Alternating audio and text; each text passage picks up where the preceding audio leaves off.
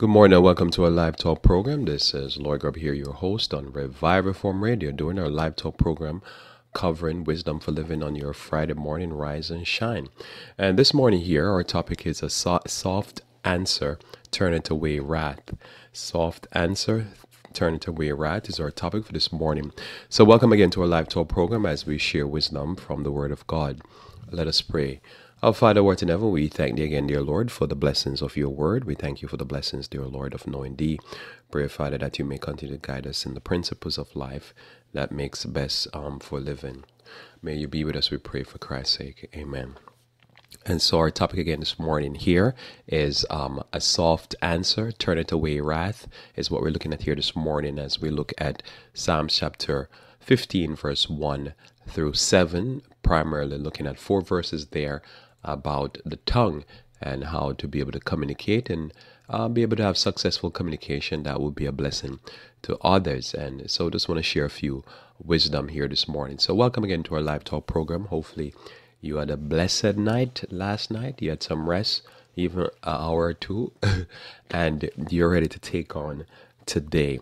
Um, and so, um, we'll start off by reading Psalms chapter uh, Proverbs, sorry, Proverbs chapter 15, Proverbs 15, verse 1 through 7.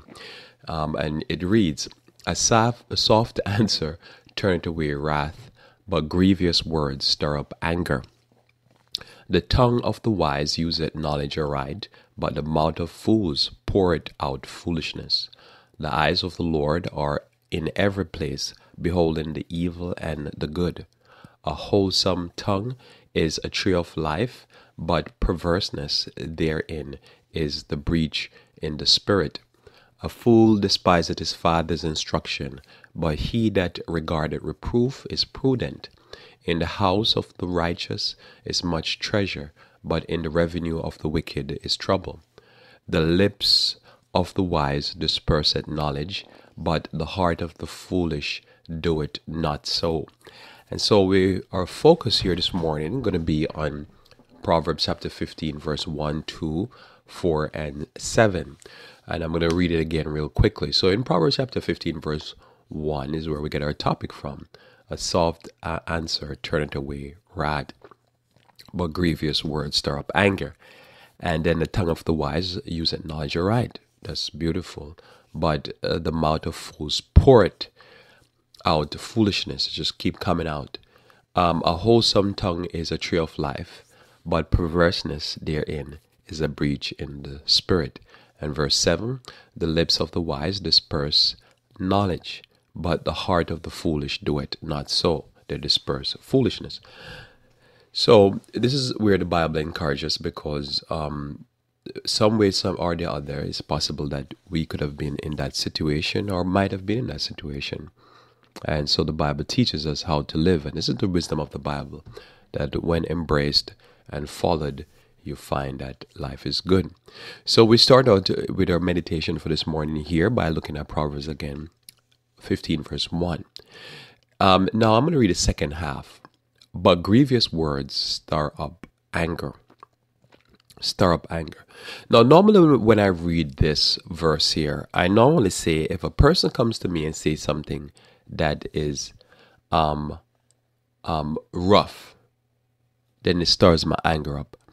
Right? You ever thought about that?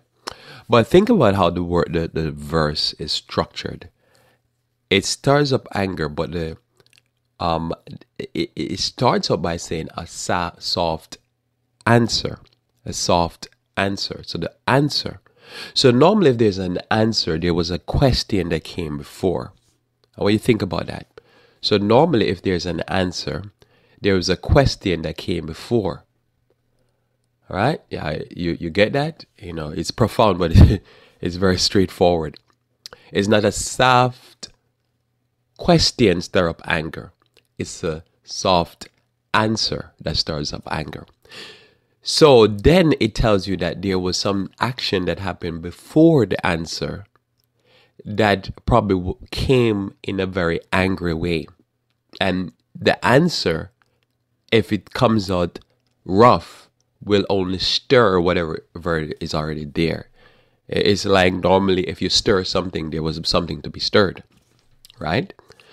um, you had something already there you're working with. Normally, you get some lemon juice, you get some water, and you get some sugar, and then you stir it. So you have to have something to stir in order to stir. And so there was something that's stirrable. and that's basically what the problem is. So what am I saying then? What I'm saying is that a soft answer, that means somebody come to you and they ask you a question and they ask you it rough.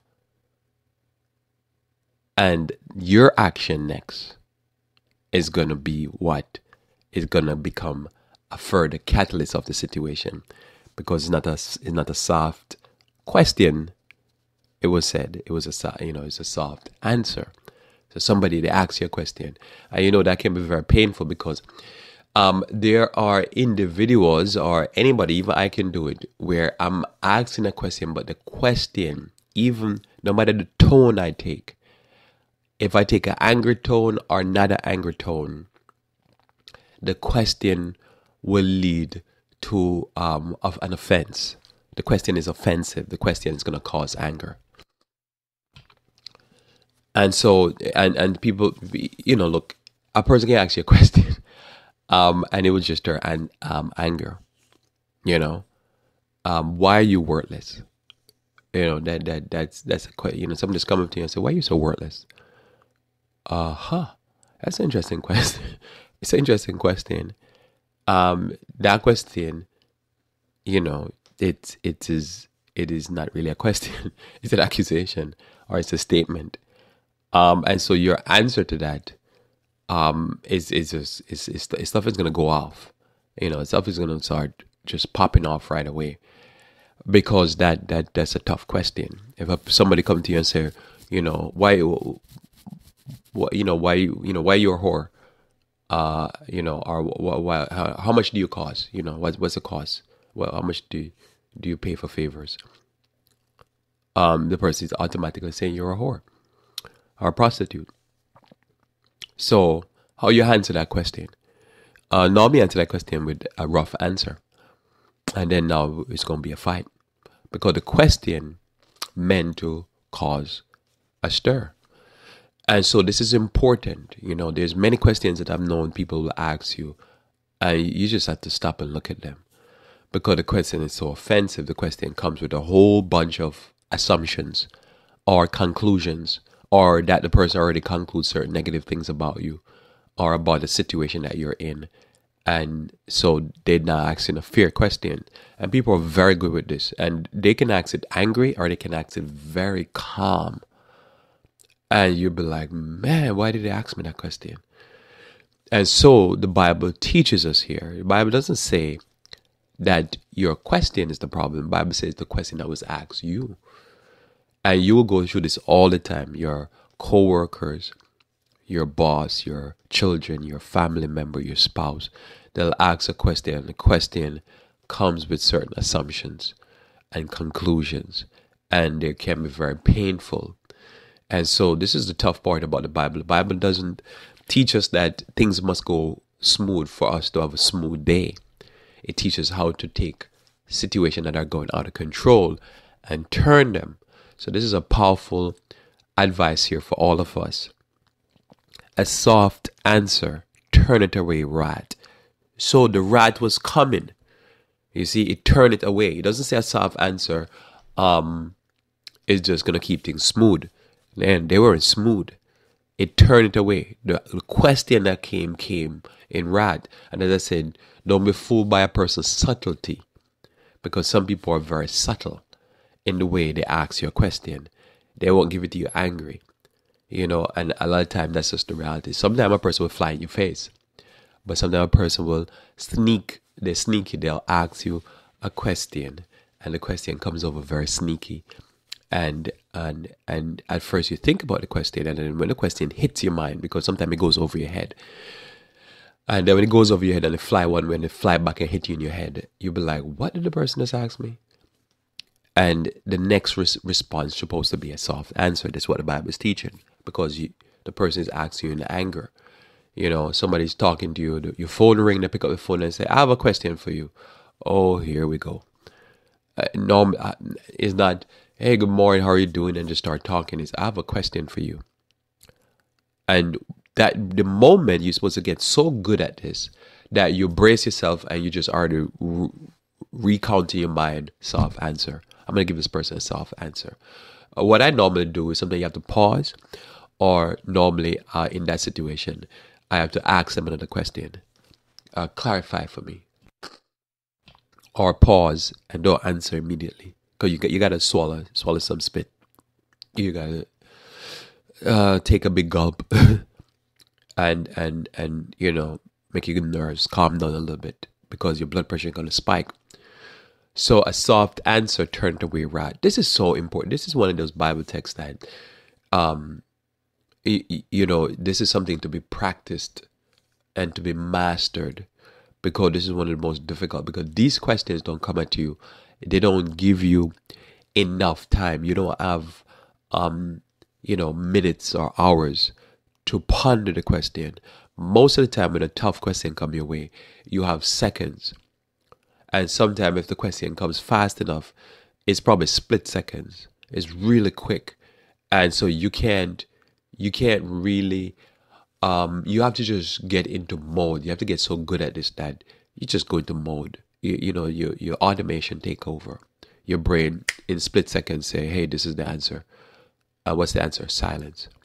This is why they say silence is golden. Many questions are not worth answering immediately especially because sometimes even the question the person asks is, no, it's not a question it's just an accusation and so your answer is just, you know, hell is going to break loose, as they say. You pull back. The other way, as I say, is you ask a question. You calm your nerves down and simply ask a question. Clarify for me. And um, I give the person time to not feed, you know, give it time so that you don't feed their emotion. Because if you feed their emotion, this is where it's going to go. Because the person is asking a question because they want to give you a piece of their mind. And they want to accuse you of something very brutal. And because they're settling their mind, this is the reality and they're gonna treat you probably rough. So you you need to slow them down or stop them by just not answering. Um, and immediately they get angry because you didn't answer them. Then to feed that, it works, and you just have to do it. This text here is rock solid. The rock solid text in the all the text in the Bible is rock solid. But I'm saying it's one of those texts in the Bible that it's it's the mastery. You know, people talk about diet. Diet is important, but you see, controlling tongue is important. Somebody say, well, wasn't Adam and Eve tempted on food? Yeah, but if you read the temptation, she got caught in her words. See, sometimes there's things that you don't need to give an answer for. The devil came to you and asked you a question. Don't be so quick to answer. I always say to people when I ask a question, the person that first answered the question most of the time got it gets gets it wrong. Uh, most of the time. If I ask a hundred question, uh, sorry, one question, you know, I don't know, whatever, a, a multiple questions, the person that always answer first, most of the time get it wrong, because that's the person that never thought the question through. What is he asking? Because if I'm asking a question, there must be some type of twist to what I'm asking. You know, obviously, if I know the right, if the if the answer is so obvious, then probably I wouldn't ask the question. It's not a question worth asking you know, if if you know why is the sun yellow or whatever. I, I mean, some questions is just not worth asking. So when a person comes to ask you a question and the question comes a certain way, most of the time it's just best not to answer immediately or answer at all. Because they're not asking a question. There, there's something they want to get to. So try to ask them a question to get to it or just be silent. And this is the master. So when Adam and Eve was tempted, somebody would say, well, it was about food. Not really. Uh, the, the trick there was eh, there are times when if you don't know the proper answer, you need to, um, you know, wait. Let me get back to you. Or don't answer. Or, or, or ask a question. Why are you asking me that? Okay. Well, that question seemed kind of tricky. Let me get to Adam and ask him. And then if Adam can answer the question, say, Adam said, let me get to God. But when we're quick to answer stuff, trouble comes. So, as I say, our topic this morning is soft, soft answer turned away wrath. Going to be our main, main focus, but um, we're going to touch on some of these other wisdom here. The second part says, but grievous words stir up anger. So turn away wrath, stir up anger. So the anger is there already. The, the wrath is coming towards you the higher the, the, the, the frustration, the bitterness, the pain that the person is feeling, they're about to give you some of that pain. They're going to share it with you. And you are going to try to help them out, even if they probably deserve to get a piece of your mind because they shouldn't ask you that question. They should first investigate to make sure whatever they're coming at you is real. Or even if it's real, they don't need to treat you that way because they love you. But at the end of the day, this is the reality. And so turn it away right. Grievous words stir up anger. It just rise the anger up. So somebody come to you and they ask you something and it's an accusation and they ask you a question and you give them an answer or you give them an answer, boy, you give it to them. You know, how dare you ask me this, you whatever. And you give it to them. And they know they don't back down. They be like, You stir me. I'm gonna give it to you back now. And they give it to you back and then the two of you start to give each other uh, a good mental verbal whipping. And when you finish, you just almost hate each other because guess what happened? The two of you just said some of the worst things to each other that just cause a lot of wounds, a lot of pain. Make you stay up at night and think about what the person has said to you. But simply, if the second act was silence or softly answer the person to turn away, the right to calm the person down, then there you have it. This is a situation. So this is what the Bible encourages, and it makes absolute sense. And when you do it, you will affirm that the word of God is good and God is good. Um, verse 2 says, The tongue of the wise useth knowledge aright. So the tongue of the wise useth knowledge aright. So, and the second part says, But the mouth of fools pour it out foolishness. This just comes out. It's just, it's just garbage. It just goes, yeah. You know, I would say that like vomit on you. Um, and so the tongue of the wise useth knowledge aright. So it, knowledge is is is neutral, so to speak. Um, but you can use it a certain way. You know, you can say things a certain way. You can't say it at the right time. You know, they say there's a time and a place for everything. Um, you know, so somebody say, I'm just stating a fact. No, no, no. There are certain facts that can be stated at the wrong time. Timing all oftentimes is everything. So somebody say, I'm just stating the information. No, you're not. You're using the, the knowledge um, wrong. So knowledge can be used wrong. It can be used at the wrong time in the wrong situation. Um, and, and, and one has to be careful with this. You know, there's a situation where somebody would say, um, like you see this a lot of times where somebody go to a funeral and they go to the funeral and they use it knowledge at the wrong time so they go to a funeral and somebody's preaching that the person is in heaven right now. And you're looking and you say, well, there's the body. How they in heaven? But yeah, but it's just not a time and place. You know? It's the time and place is not place. So you go to a wedding and you think you think you you you that you know this young lady shouldn't be married to this young man you talk to her, you tell her, hey, look, I think you're making a blunder. This is a bad mistake you're making. The person said, no, I'm going to go ahead and get married. Now it's time for the wedding, and the pastor stands there and says, if anyone have any reason why these two should not be joined together, and you go right in the head and say, yeah, I have a reason why, and you go and blurt it out. Uh, it's knowledge, but it's just you being foolish and it's it's it's a difficult thing to explain to a person that is foolish, as the Bible says, a fool. Um, that is not that what you're saying it might not be true, but you know that there's a time where you need to shut up. there's a time where you need to keep quiet, and they're like, "No, I'm gonna tell them." Uh, yeah, but it's not the right time. You already had the opportunity. The person decide to make their mind up there's just no reason for you to say anything at this point. You already said your piece. Just go ahead and go to the. If you're gonna go to the wedding, go ahead and go there and then uh, enjoy some food and tell them God bless you in your marriage, and then that's it. But there's a time and a place for things. So you could have knowledge in something. You could have knowledge and some information. How about in a situation where somebody's talking and they're saying something that is wrong, and you know whether it be uh, historically, scientifically, um, whatever. There's not saying it right, but it's just not the time or the place or the right way to use the information. Um, and somebody said, "But aren't you covering the truth?" Normally, when people talk like that, they're they're immature. They don't understand. You know, the tongue of the wise use it, the knowledge right. There's a way to use the information. There's a way to use knowledge in the right way. There's a way you can use it in the wrong way. Um, also, there's a way to apply knowledge to situation that is appropriate. But a fool doesn't know how to do this. They don't know how to use it. It's like a tool. It, it doesn't. It is just information, but you can use it right. You know. And so, but the mouth of fools poured out foolishness. Just talk and it might be what they're saying is right, and it is the true reality, but it is just they're not using it properly. And you see this over and over again.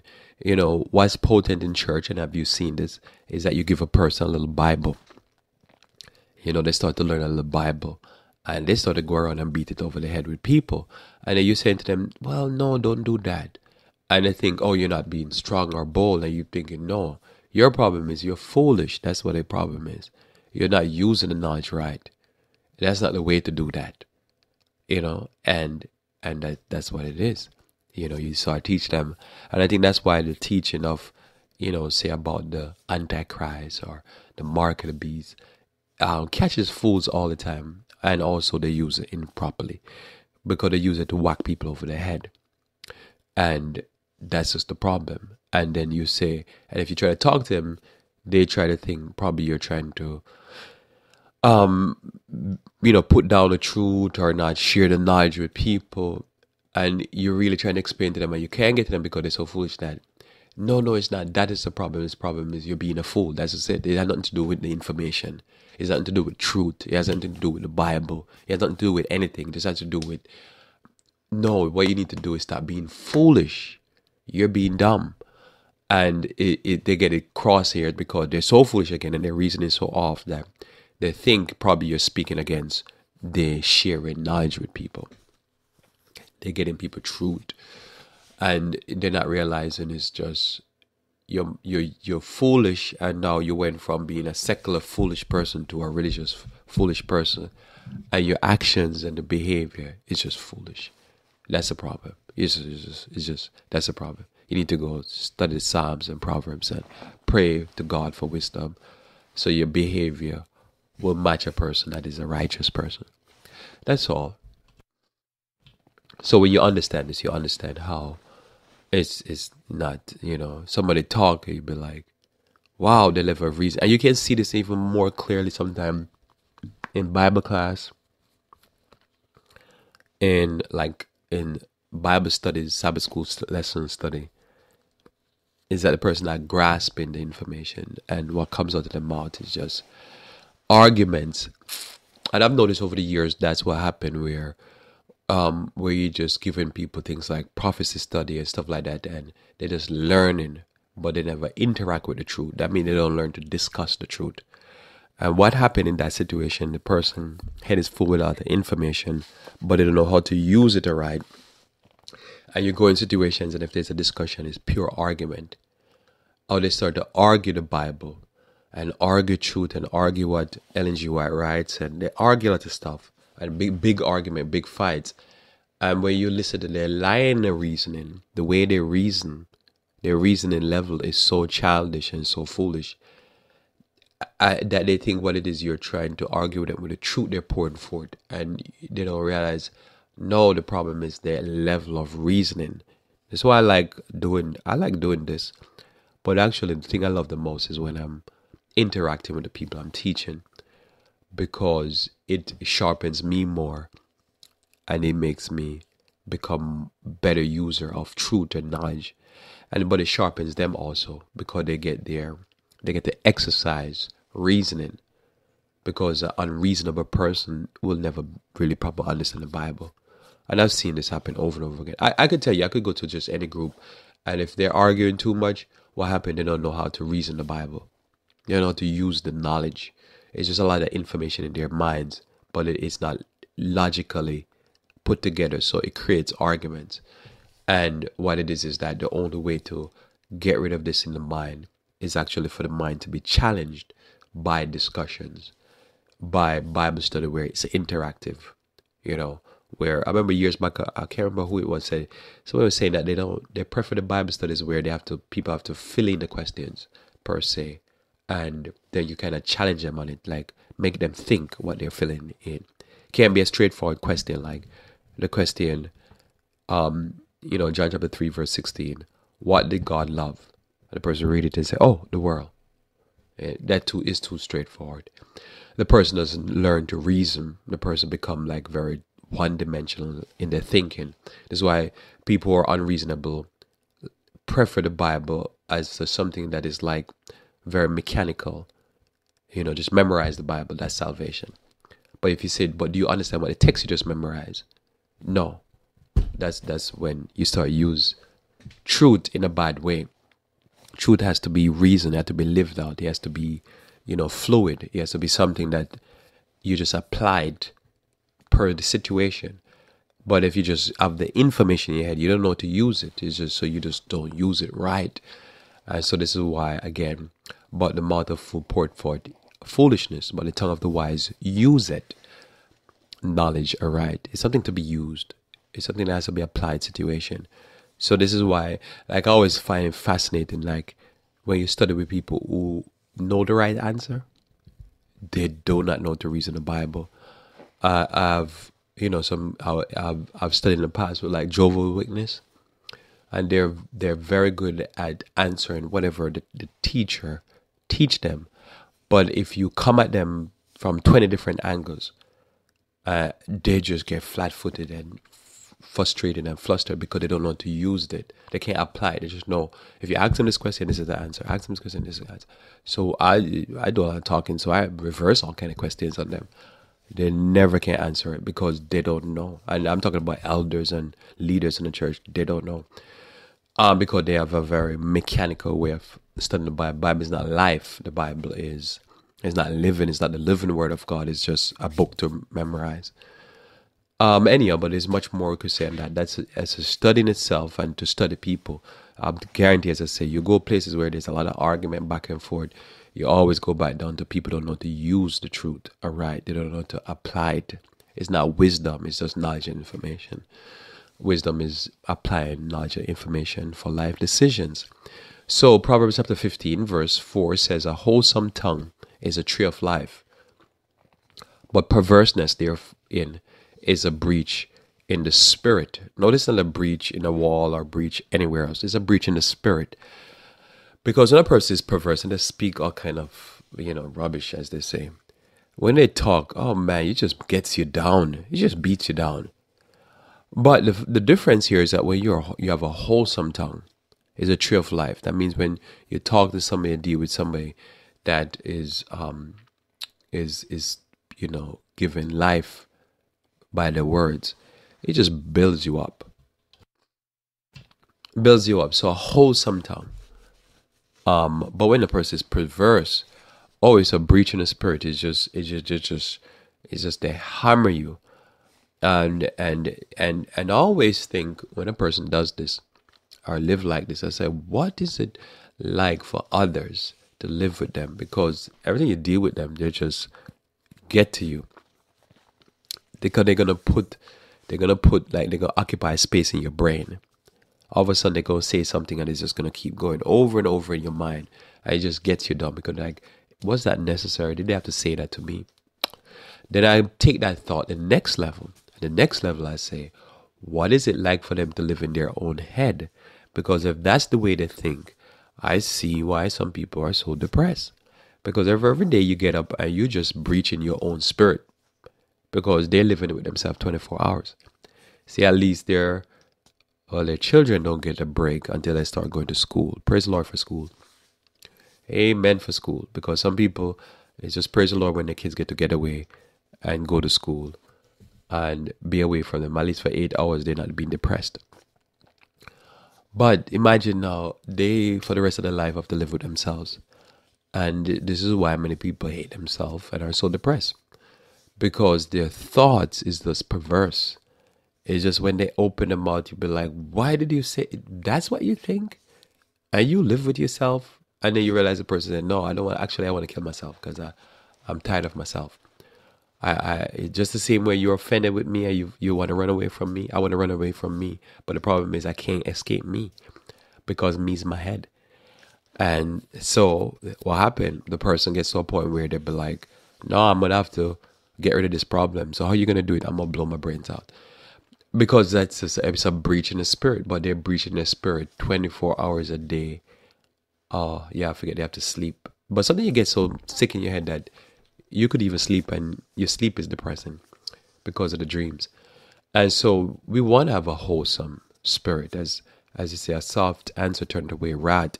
Most naturally, if you're thinking unwholesome thoughts all the day long, evil questions when people ask you that are not, and I'm sure you've seen this questions that people ask a person that are not unwholesome questions. They're not trying to offend them, the person, because they're such a terrible spirit and they're always thinking so much evil or negativity.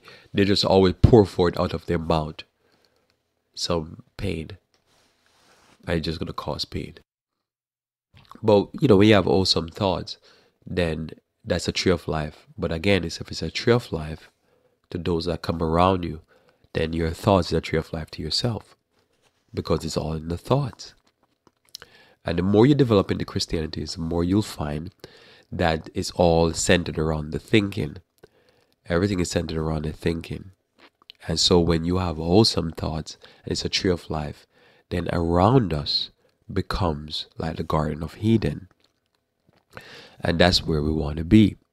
We want to be able to have heaven on earth and it's always start in our own atmosphere, in our heads. And the moment we have that in our heads, then all of a sudden it start to translate to those around us. And then we can get to live with somebody or some people that is trained to number one, verse one, give a soft answer. And in verse four, that their mouth become a tree of life. Then a lot of the pain that is seen in the earth just disappear. It's what the earth needs. People who their mouth is not always just pouring forth evil. More than that in a little bit. So that's what is needed. You know, somebody say, Well, I'm not happy. Well, first, what does that mean?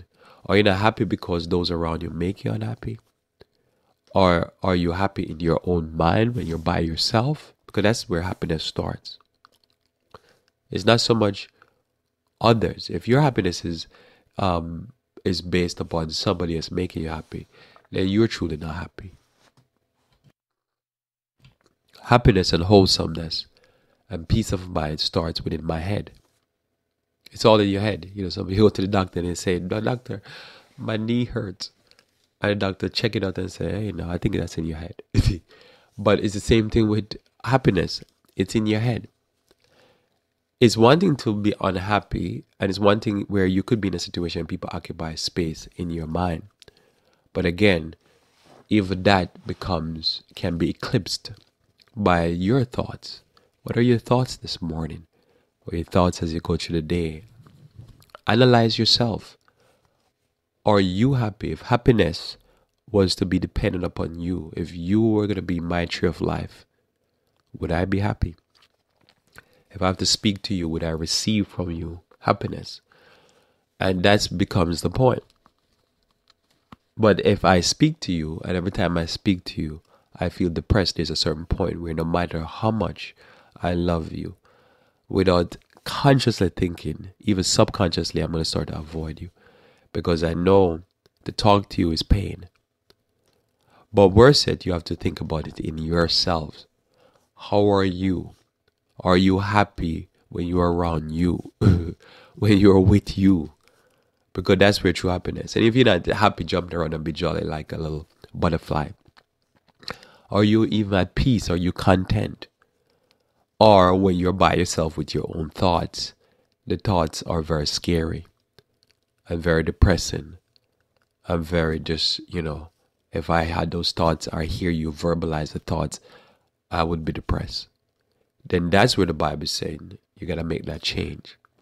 You got to not just pray to ask the Spirit to come into your life, but you start to exercise mental self control. And as you exercise mental control, then what happens? It will affect your tongue. And your tongue now will say the words. Say the words. But I've never met a person who was unhappy and it wasn't because of themselves. Somebody could say, but can somebody do things to you? Yeah, but again, somebody can rape you verbally, physically, you know, various different ways. But unless they're in a dungeon, and that's what they're doing to you constant, constantly. If you're a free human being, you're walking around free. That doesn't continue all day long. And so you have to stop and not make events of the past occupy space in your mind. So somebody said, but what if I'm in a situation? Well, you know, whatever it is today won't be tomorrow. You have to know that you could be in a bad situation, but it won't be there tomorrow. So you would have to make up your mind that whatever situation you're in, if it is a situation that's changeable, you might be in it today, but not tomorrow. Whatever I'm my dad. And nothing in this world is permanent. So if you have a life and you have freedom of choice, there's a point where you know, you know, I'm not happy in this situation, and you give it your best shot. And if it doesn't work, you just move on. But your happiness is on you. And so if you want to fill this text in, and you want to make this text become, as I say, the, the word became flesh and dwell among us. Well, I want to encourage you, be this person here, that your tongue become a tree of life and when you speak, it makes people live a little bit longer. As I say, I've I've conversation and I you know my thought is I can live. And somebody somebody say, What what do you mean you can live? And I'm like, I can live, you know? And and what do I mean by that? What I mean by that is if I was about to commit suicide and I talk to a certain person, and their tongue is wholesome and their tongue is a tree of life. After talking to them, I can smile and say, I can live. I can live. This this is workable. I can live another day. This is good. And that's what a tree of life is. You're about to die, you go over there, you pick a fruit off the tree, and you eat it, and your life is extended. And that's what it is. You know, and most of the time I say it with some food. You know, I eat some food and food tastes good. I'll be like, yeah, I could live another day. I could eat this another day. This tastes good. This really encourages life. And that's how you want to see yourself. You want to see yourself that if a person was near perishing, that you are going to be the one to make them come over to you and they're going to pick a fruit right out of your mouth and they're going to eat that fruit and they're going to be like, you know what, Ben? I, I ain't to die today. I'm to live another day. That's what you want to be. Now, somebody say, How is that possible? Notice again Proverbs chapter 15, verse 1. A soft answer turneth away wrath, but grievous words stir up anger.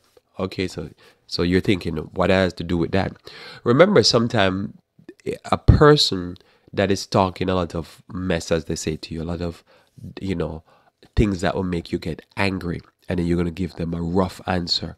Or people sometimes are actually suicidal and depressed and that's just the reality. So you're dealing with somebody that's suicidal and depressed. Now somebody will say, Lord, you're certain? Because this person here, they're not depressed or suicide. They're trying to make everybody as depressed and suicide. Actually, no, many times, I'm not say this is all the time, but I've found a lot of times that people who will get you down by occupying negative space, they say some of the most discouraging, defeatist statements out of their mouth. When you analyze them and if you talk to them privately you can trust me because you know as a pastor people say these things to me so i encourage you. I'm encouraging you here. Know that when you're talking to a person oftentimes they just say some of the most discouraging depressing stuff that they themselves are having serious struggle with suicide. They themselves are having serious struggle with depression. And so they're about to faint.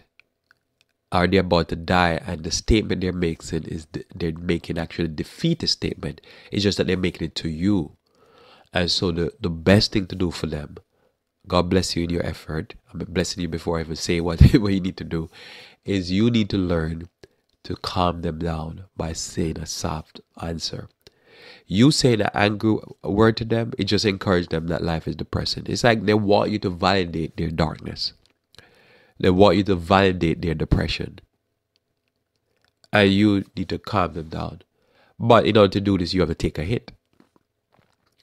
And I'm not saying I say God bless you in your effort because the you know people in that state of mind that they're not addressing their depression, they'll hit you left, right, and center up your head.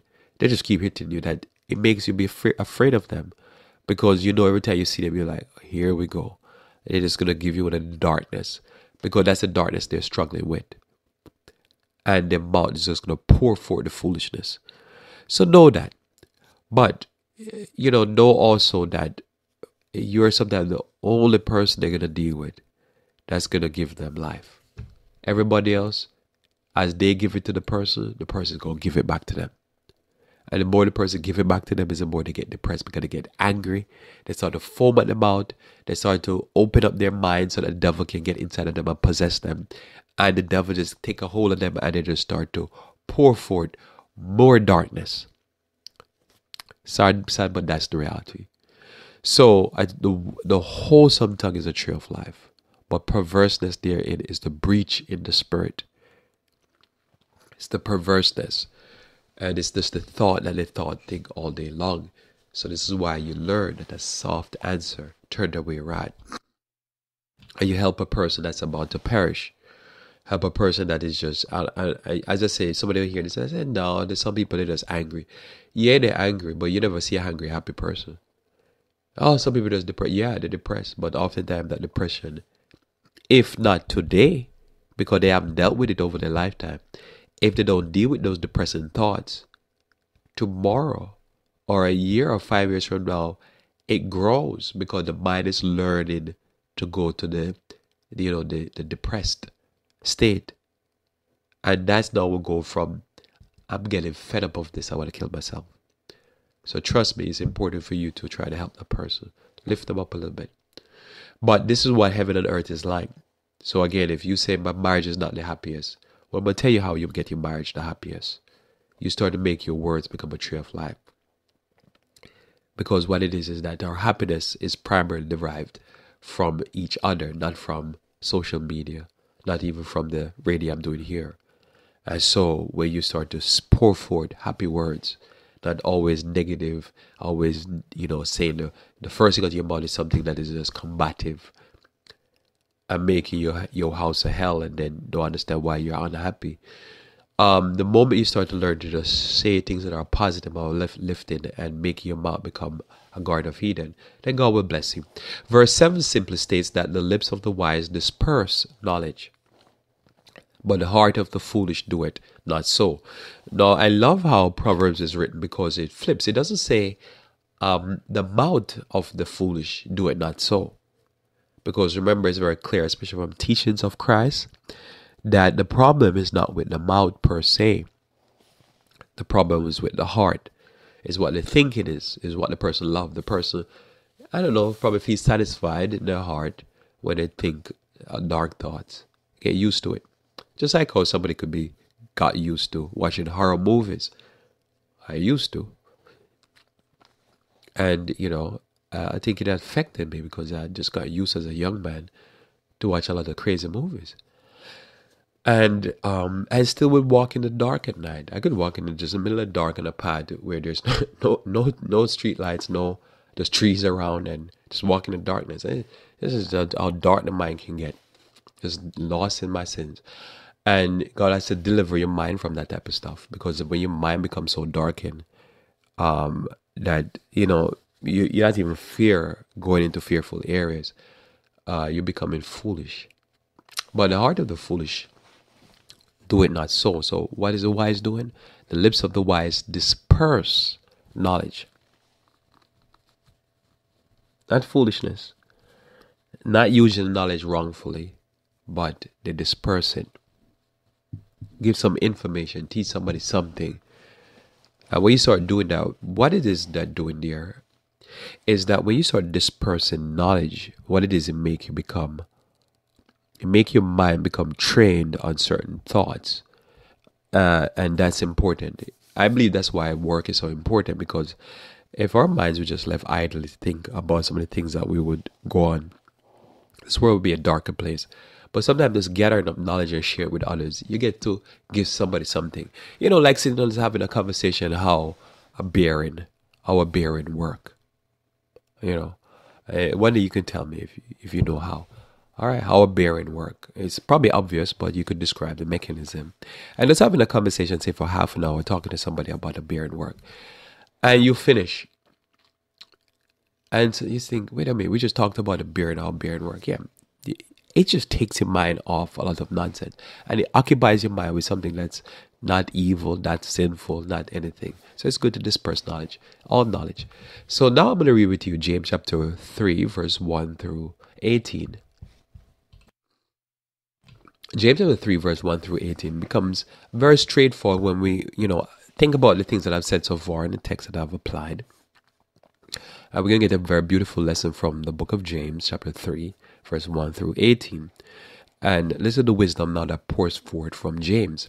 My brethren, be not be not many masters, knowing that we shall receive the greater condemnation.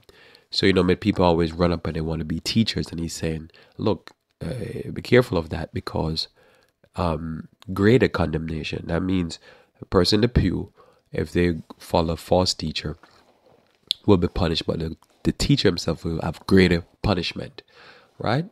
So, my brethren, be not many masters, knowing that we shall receive the greater condemnation. For in many things we offend all. If any man offend not in word, the same is a perfect man, and is able also to bridle the whole body. Now, let's go back to what I was talking about earlier in the beginning. Remember, Adam and Eve, the issue was bridle the tongue. Don't be so quick to talk. And you, somebody said that that happened almost six thousand years ago. Why is that so important? Notice he says a person that can bridle the tongue is a perfect man. You know, we start off with that, but we grow from there. We start to learn to control what we say and how we say it. You bridle the tongue. But here, bridle you control it. Put a bridle in it so you can have control over it. And is also able to bridle the whole body. That's why if you see a person that's out of control with their diet, they're also out of control with their talking. They'll run them out the person that bridle the tongue can bridle the, the, the, the, the, the diet because, again, it's a self control issue. And so, if you see there, and if you notice here, even back in the story Adam and Eve, you put a group of people in a room, male and female, you throw something out, you watch who will be the first to talk and who will talk the most. And you can quickly see that the story of Adam and Eve is true. Now, in verse 3, behold, we put bits in the horse's mouth that they may obey us, and we turn about their whole bodies. Behold also the ship, which though they be so great, and are driven by fierce winds, yet are they turned about with a very small helm, whithersoever the governor listed. Even so, the tongue is, lit, is a little member, and boasteth great things. Behold, how great a matter a little fire kindleth. And that's true. A little spark. Psst, and all of a sudden the whole house is burning down. A little spark. A little spark will definitely burn the house down. You don't believe that? and so I, that's just the reality.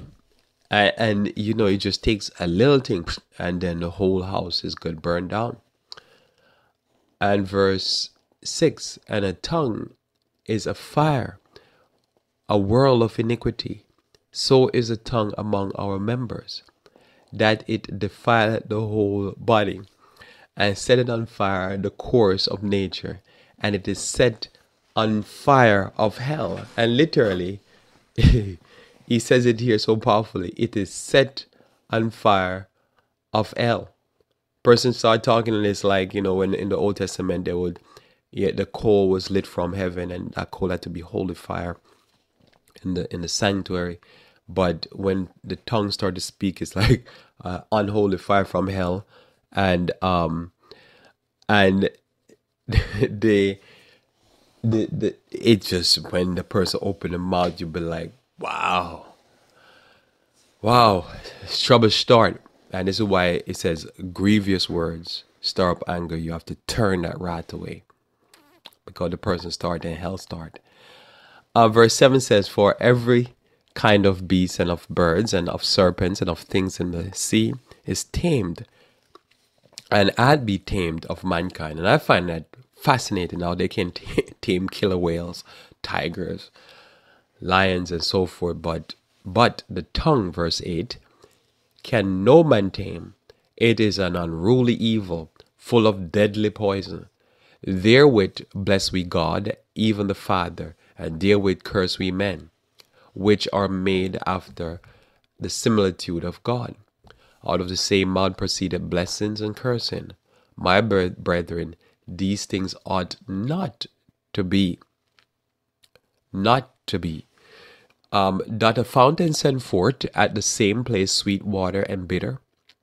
Can the fig tree, my brethren, bear olive berries?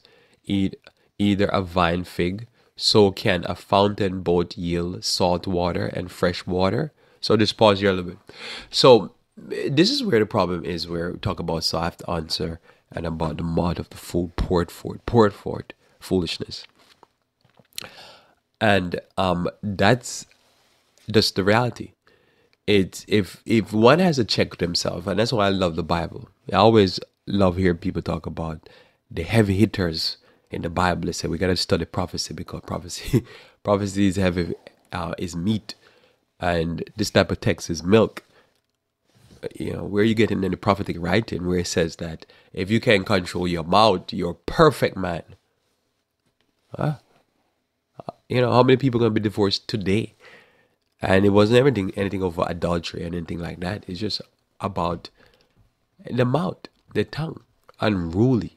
It just destroy the whole house, pluck the whole house down, tear it down, destroy it by just saying stuff that normally in anger normally heart rate goes so high and gets so angry that they just say stuff just to cause pain and hurt that can't be retracted. So again, it, this is where the control comes in, where you understand what the creme de la creme of Christianity is. It is the control of the man, it's self control. It is getting your mind and your heart under the spirit that under split seconds you're able to submit to Jesus. You're able to submit to the Spirit and let the Spirit lead and not give yourself over to hell and let hell lead. This is the very important thing. It is the most important thing. As I say, test yourself. When there's a question, when there's an issue comes up, practice, pull back, say nothing, think about the question, Think about the situation. Don't be the first to talk. Practice this. You just sit there and observe. And you'll find when you do this, what will happen is that you're making the practice that when that split second decision comes up, you're able to bridle.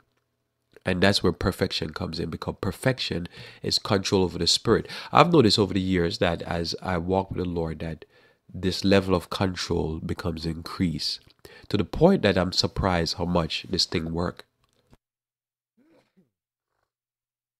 It really works, and it's just it's it boggles the mind how split fast the brain can work in just not getting answers out, but in controlling the spirit. Because I'm telling you, you can be so controlled by emotions that you think you're giving a sensible answer. It's not sensible. It's just a total emotional answer. But somebody said, but I'm I'm intellectually answering the question. No, you're not. You're emotionally answering the question because you committed too fast. That's not intellect. You need time to think. And the split second decision is not opening your mouth. The split second decision is, let me think about this. And then you'll find that you bridle your tongue, you pull it back but not be so quick. Notice the Bible said we're supposed to be slow to speak. That's what the Bible teaches. It's important to be slow to speak. You know, we have to think first. But I, I see it all the time. You can, you know, they talk about talk about group dynamics. You go in a group and you watch. You throw any questions out. You watch the group dynamics. And you see who's gonna just jump and answer. And you say, okay, watch that person. That person does that and you do that two, three times, you say that person does it all the time in their lives. And they have all kind of problems. And they have all kind of self-control problems in other parts of their lives because they're too quick to answer. They feel like they should be the first to answer because they know it all. And normally, they normally if they're quick to answer, they normally assume also why you're asking the question. They don't even know why you ask the question. They jump to an assumption and they don't they don't answer the question. They answer the assumption. You, you, you get that? Now, if you get it, observe it. Just mark what I'm saying here. And, and you could say, well, you heard me talk for an hour. I'm going to tell you, if you have to listen to this again, listen to this again. And if you have to say five, ten times, listen to it and then observe people and you'll see or observe yourself. And then you'll be like, wow, I really do that. I'm to tell you, a lot of time the person is not answering the question, they're answering their assumption for why you're asking the question. I ask a question, the answer, and the answer is not nothing to do with the question. It has to do with the assumptions that they assume from based upon why I'm asking the question. And so, so it says here now, if we can wrap this up here, a few minutes, it says that the fountain bring forth the same place sweet water and bitter water, can a fig tree, verse 13. Who is a wise man and endued with knowledge among us? Let him show out his show out of a good conversation his works with meekness and wisdom. This will lock right into Proverbs chapter 15. Notice his works with meekness and wisdom because his humility that will make us pull back, make us not give an answer that is rough. We humble ourselves. Because remember, you humility is needed when you have a right to exercise authority or a right to exercise your rights. See, you don't have to humble yourself. There's no need to humble yourself. It's when you're in a need not to give a rough answer because you should give a rough answer that humility comes in and say, humble yourself, do the wise thing. Because what the person is saying here, you're only going to go south. 14. But if you have bitter envy and strife in your hearts, Glory not. Lie not against the truth. Because that's all it's going to do. Somebody hear me talk here, they're like, oh no, it's not right in their mouth. They're just lying against the truth. This is, this is, this is, this is master level thing I'm talking about here. You could go to any shaman or any yoga or anything. There ain't nothing. It is like lightweight stuff. This is master stuff I'm talking about here when you get to a point where you can bridle the thought, bridle the tongue, where somebody can come at you hard, and you can take a breath and not answer, even though even though you know they're wrong, and you can pull back. That's master level. It's not emptying the mind and going away meditating. No, you're in the crucible you're in the fire, the person is coming at you and just like foaming at the mouth. And they're wrong. And you still can be like, I hold your peace. That's where you come to a level of mastery. You don't have to need you don't need to be in the mountaintop. You're in the valley and things are rough and you can maintain your spirit. That's where I want to be. That's where I want to learn. You don't learn that without exercise. You have to practice it. Yeah, you gotta somebody have to get to your last nerves, and they have no right to do that to you, and you still hold your peace. That's where I want to be, because that's how I know you get to master level. What kind of master level I'm talking about? The master of heaven. So why Christ was able to hold his peace on the cross. We'll see if we can finish this before the time elapses on us. It says the wisdom of the wisdom, this wisdom, this kind of glory in, in, in unrighteousness. The wisdom descended not from above, but is earthly, sensual, devilish. For where envy and strife is, there is confusion and every evil work. But the wisdom is that is from above is first pure, then peaceably, gentle, easily entreated, full of mercy and good fruits, without partiality and without hypocrisy. And the fruit of righteousness is sown in peace of them that make peace. Notice here, the wisdom of God is easily entreated. Somebody that you can't talk to, that's a person that is lost. No question about that. You can't talk to the person, you can't entreat them, you can't, oh, you calm down, relax yourself. The devil has control of them. And they need to find the Lord. Let's pray. Our Father, what in heaven, we pray, dear Father, that truly we may receive of thy spirit, that you may be able to have a hold on us. That in times, dear Lord, where we want to lash out, want to get angry, or we need to, need to be entreated, that we may submit to thy spirit, that we might be easily entreated. May you bless us, dear Lord, that we might be a blessing and a tree of life as we speak to those that we come in contact with this day. This is my prayer in Jesus' name. Amen. Thanks for being with me here on Revive Reform Radio. I pray that you may continue to walk with the King.